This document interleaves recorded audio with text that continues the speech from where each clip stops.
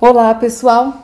Essa aula irá tratar das principais estratégias de modificação molecular aplicadas na otimização das propriedades biológicas de substâncias de interesse terapêutico. Nos dias de hoje, os processos de descoberta e de desenvolvimento de novos fármacos são fundamentalmente suportados pelo emprego dessas estratégias.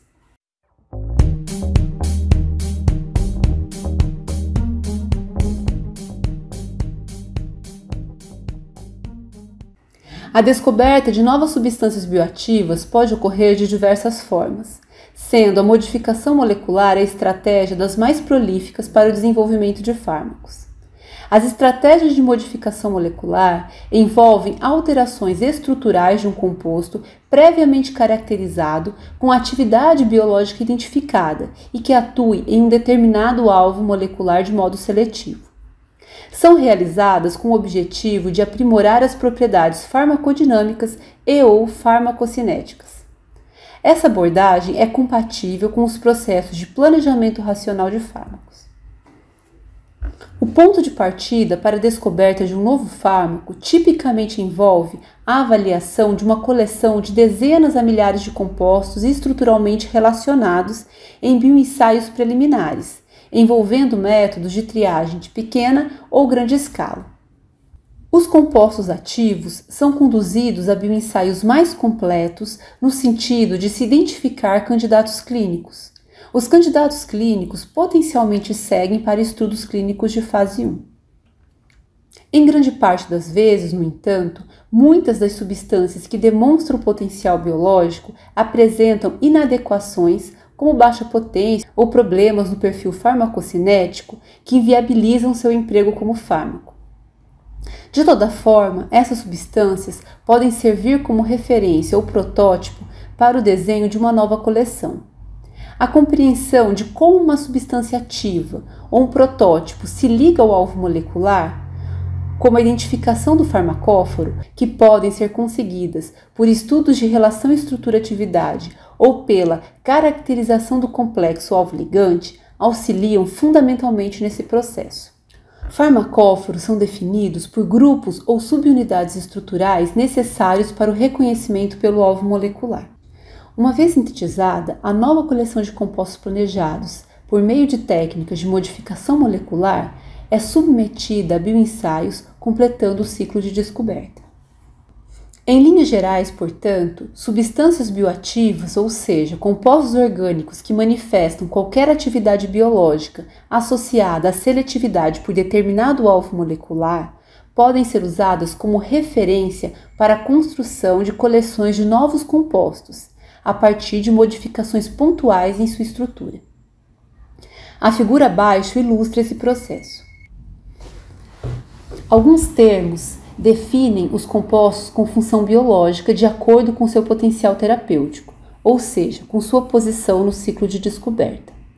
A identificação de atividade biológica in vitro associada ao reconhecimento seletivo por determinado alvo molecular permite classificar a substância como bioativa. No entanto, o potencial de aplicação na terapêutica é ampliado quando se identificam outras propriedades fundamentais. Dessa forma, o termo composto protótipo ou líder é aplicado a substâncias bioativas que apresentam atividade em vivo, toxicidade adequada, conjunto de análogos que apresentam relação estrutura-atividade clara e também estabilidade química. O status de fármacos é, portanto, atribuído o status de fármacos é, portanto, atribuído aos candidatos que avançam nos estudos de fase clínica e alcançam a terapêutica. Vamos agora considerar especificamente as estratégias de modificação molecular.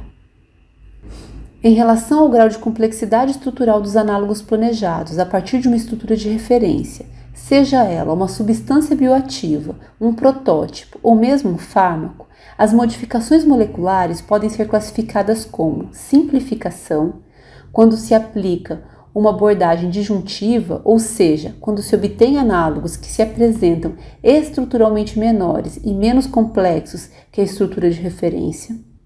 Conservação, quando se aplica abordagem analógica, de forma que são obtidos análogos de mesmo porte estrutural em relação à estrutura de referência, ou ampliação, quando se aplica abordagem conjuntiva, em que os análogos obtidos são estruturalmente maiores que a estrutura de referência, a qual deve ser adicionada uma unidade estrutural. As modificações moleculares visam, de modo geral, facilitar a obtenção por síntese, ajustar propriedades biológicas como seletividade e toxicidade, otimizar a interação com o alvo molecular, como também ajustar o perfil farmacocinético, seja para ampliar biodisponibilidade oral ou adequar taxa de excreção renal, ou para ampliar e reduzir a estabilidade química ou metabólica, dentre outros. Na sequência, serão descritas e exemplificadas as principais estratégias de modificação molecular empregadas no processo de desenvolvimento de fármaco, sendo uma estratégia de simplificação, a simplificação molecular, duas estratégias de conservação, restrição conformacional e bioisosterismo, e quatro de ampliação, homologação, dimerização, hibridação molecular e latenciação de fármacos. Vale destacar que, ainda que as modificações moleculares sejam aplicadas na construção de séries ou coleções de análogos, em vários dos exemplos que seguem, apenas a modificação mais bem-sucedida será ilustrada, em apenas um análogo. A simplificação molecular é especialmente empregada a partir de substâncias naturais. Muitas substâncias bioativas provenientes de fontes naturais são naturalmente produzidas em pequenas quantidades com metabólitos secundários e tipicamente apresentam estruturas elaboradas constituídas por centros estereogênicos e ciclos fundidos, que são, de modo geral, reproduzidas com alto custo por metodologias sintéticas. Dessa forma, a aplicação da simplificação molecular prioriza a remoção de estereocentros e ciclos fundidos, de modo a facilitar a obtenção por síntese e produção dos análogos terapeuticamente úteis em larga escala a custos razoáveis.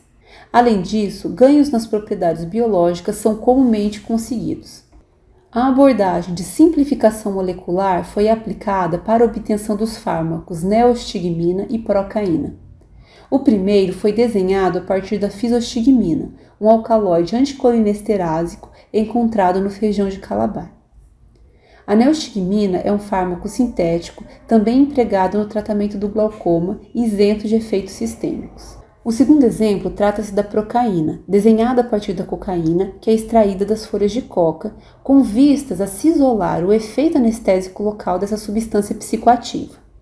A procaína é de fato empregada como anestésico local, especialmente na odontologia.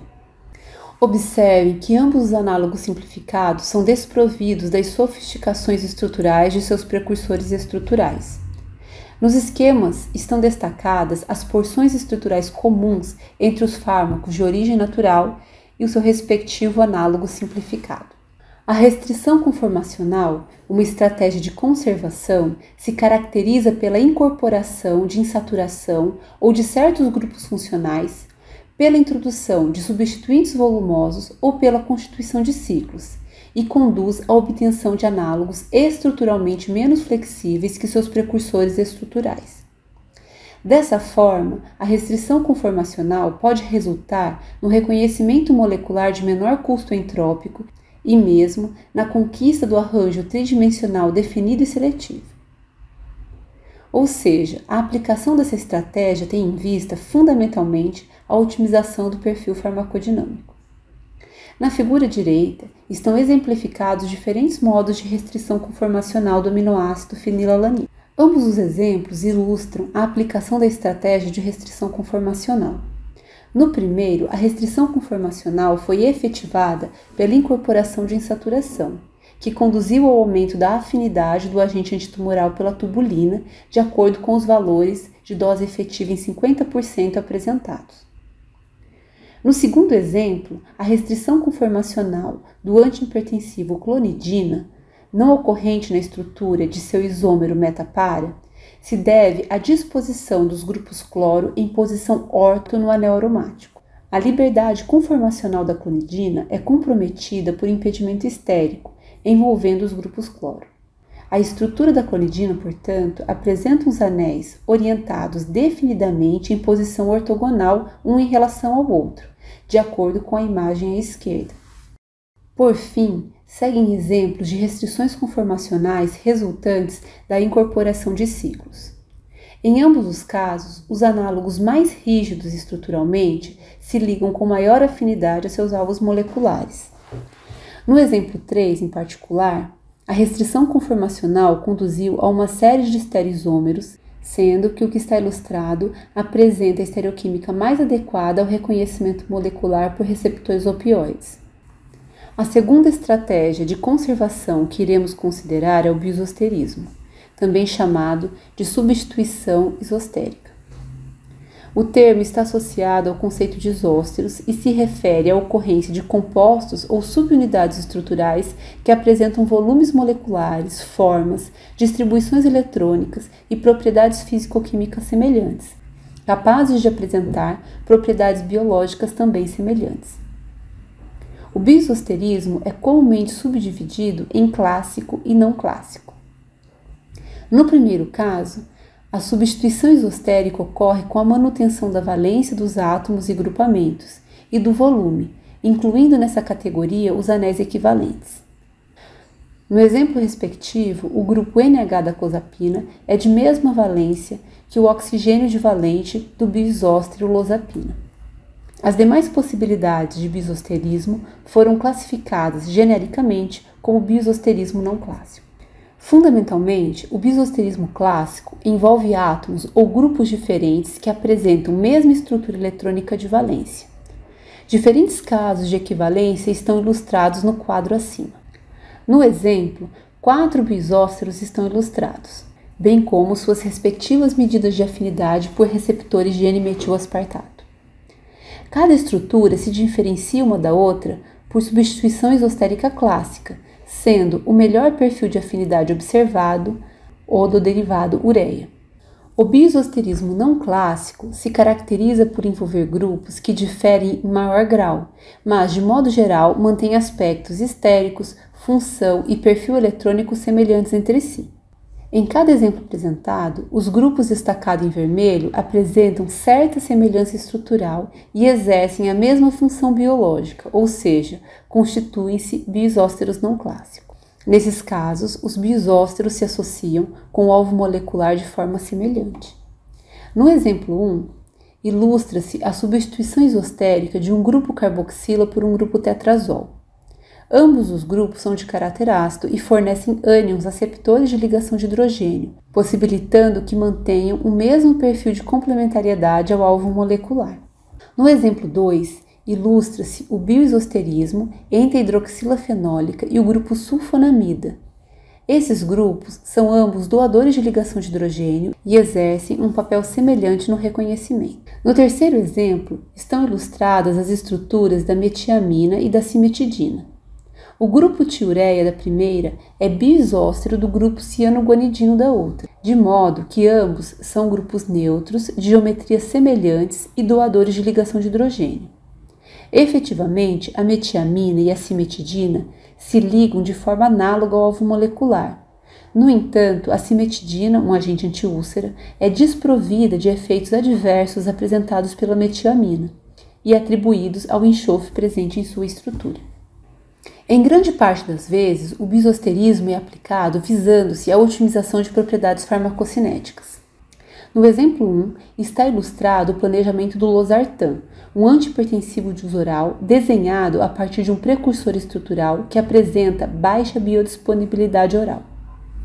A substituição do grupo carboxila pelo grupo tetrazol contribuiu para a adequação do caráter hidrofóbico, ampliando a biodisponibilidade oral que para o losartan alcança os 40%. Uma vez que os grupos carboxila e tetrazol interagem de modo semelhante com o alvo molecular, a contribuição do bisosterismo nesse caso foi fundamentalmente farmacocinética. O segundo exemplo ilustra um caso de bisosterismo clássico ocorrente entre os hipoglicemiantes tolbutamida e clorpropamida. O tempo de meia-vida relativamente mais curto da tolbutamida está relacionado com a presença do grupo metilaromático, suscetível a reações de oxidação metabólica. A substituição da metila por cloro, que levou à constituição da clorpropamida, justifica-se pela ampliação do tempo de meia-vida. Dessa forma, foi possível obter uma hipoglicemia antioral de maior tempo de ação. No terceiro exemplo, a substituição bisostérica possibilitou o emprego terapêutico de um análogo da acetilcolina.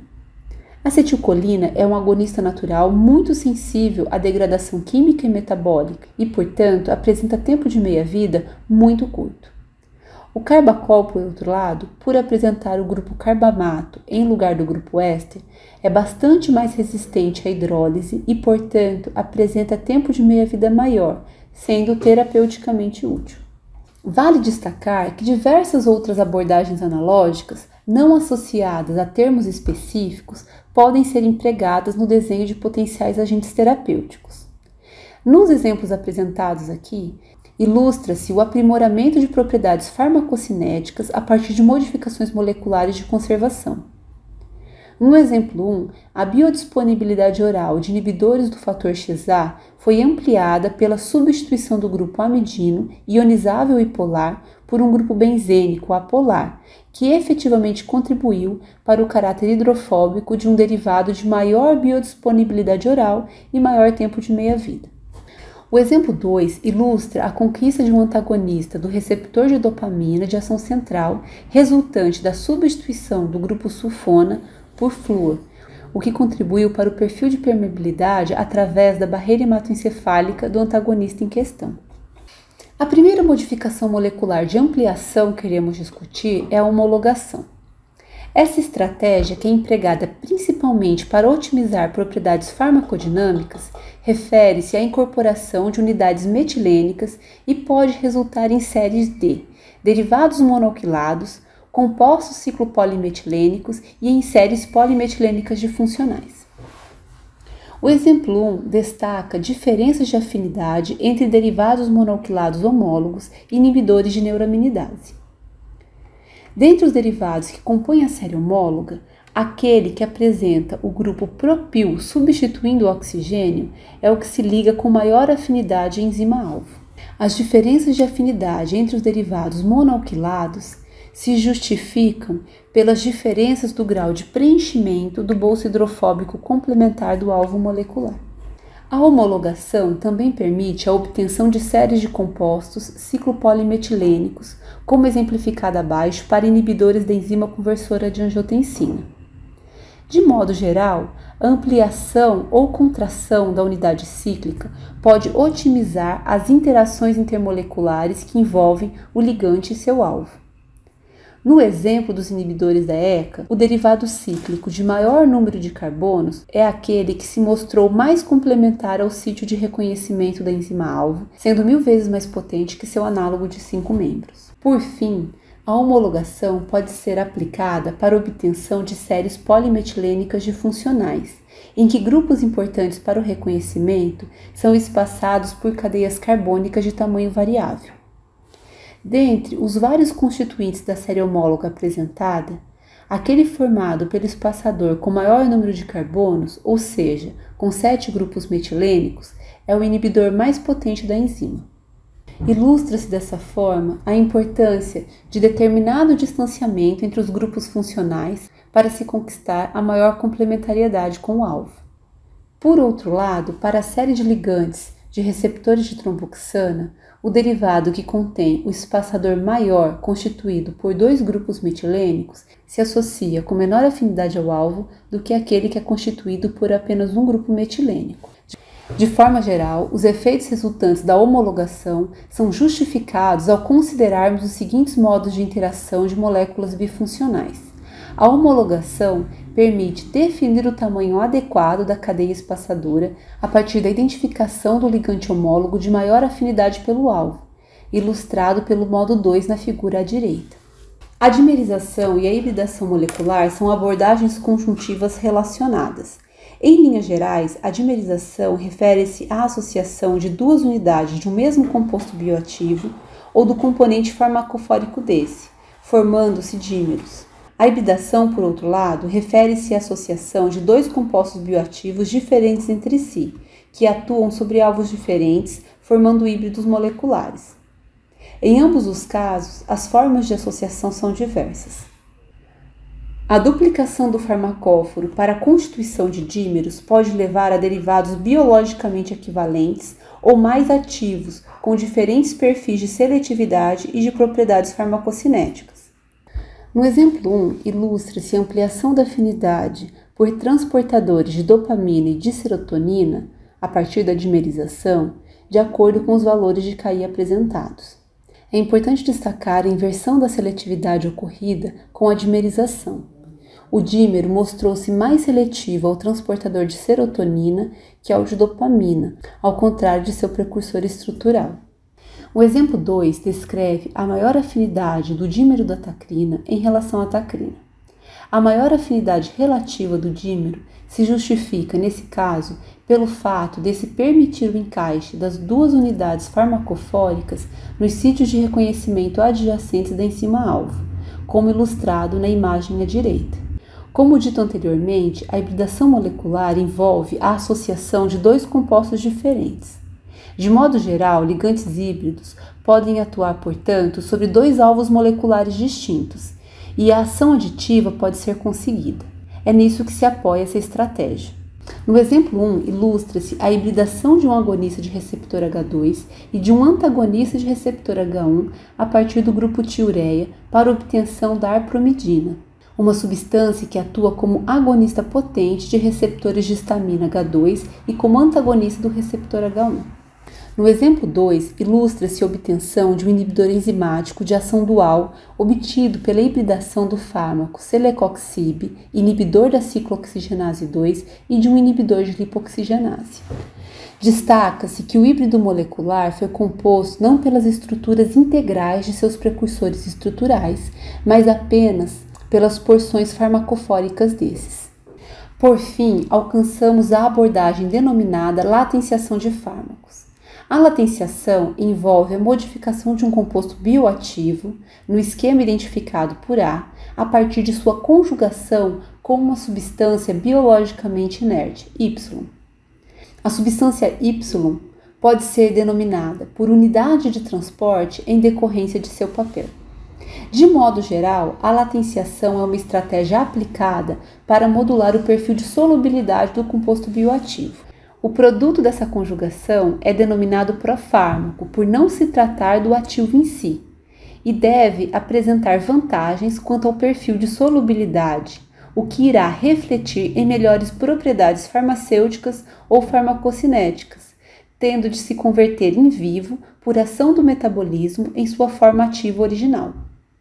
A forma mais comum de conversão metabólica é a hidrólise, sendo que o processo de latenciação tipicamente envolve álcoois e ácidos carboxílicos, de modo a se obter ésteres sensíveis à ação das esterases, que são amplamente distribuídas no plasma e em outros tecidos.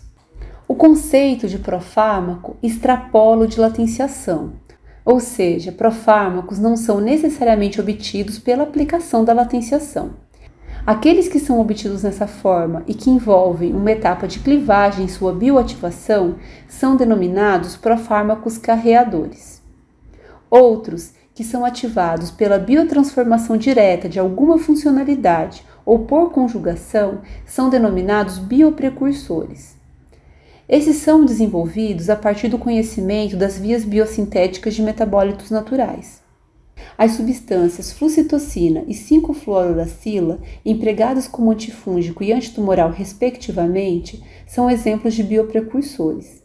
Ambas são convertidas em vivo por sucessivas reações de conjugação em um análogo citidina monofosfato, que atua de fato como inibidor da enzima timidilato sintase.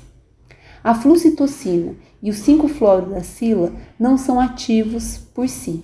Nosso foco, de qualquer forma, é na estratégia de latenciação e, portanto, nos profármacos carreadores. O enalapril ilustra um porofármaco carreador clássico. Essa substância é empregada no tratamento da hipertensão arterial e foi planejada a partir do enalaprilato. Inicialmente, o enalaprilato foi planejado e identificado como um potente inibidor da enzima conversora de angiotensina. A biodisponibilidade oral do enalaprilato, no entanto, é muito baixa e inviabiliza seu uso por via oral. Dessa forma, a aplicação da estratégia de latenciação permitiu a obtenção do éster enalapril. A substituição do grupo carboxila, ionizável e polar, pelo grupo éster do enalapril contribuiu para o aumento do caráter hidrofóbico e, consequentemente, favorece seu perfil de absorção oral. O grupo carboxila do enalaprilato, no entanto, é um grupo farmacofórico e sua modificação implicou na perda da atividade. A atividade, porém, é retomada com a hidrólise metabólica do éster do enalapril após absorção, em parte já na primeira passagem pelo fígado, com a formação de enalaprilato e de etanol. Para destacar os conceitos, nesse caso, vale dizer que o etanol corresponde à unidade de transporte do enalapril. A clindamicina é um antibacteriano empregado clinicamente que, entretanto, apresenta dois problemas de ordem farmacêutica: sabor desagradável, que desfavorece seu uso oral em crianças, e relativa baixa solubilidade, que implica em dor local quando administrada por via intramuscular. São profármacos da clindamicina seus derivados palmitato e fosfato. O primeiro é bastante menos solúvel em água que a clindamicina, de modo que não se solubiliza de maneira importante na saliva, sendo mais bem aceito em formulações orais. O segundo, por outro lado, é mais hidrofílico que o fármaco precursor e resulta em injeções menos dolorosas. Ambos são hidrolisados em vivo. O último exemplo trata da latenciação da flufenazina, um antipsicótico. A flufenazina é um fármaco de uso oral que deve ser ingerido diariamente a cada 8 horas. Considerando as eventuais crises e as dificuldades de adesão a esse tratamento por indivíduos que padecem de desordem psicótica, o desenvolvimento de seu profármaco foi impulsionado. O decanoato de flufenazina é um éster de cadeia longa administrado por via intramolecular em veículo oleoso. Após a administração, o profármaco libera-se lentamente do veículo oleoso, sendo hidrolisado no plasma em flufenazina. Essa abordagem permitiu ampliação do intervalo de doses. Enfim, espero que tenham gostado e até mais, pessoal.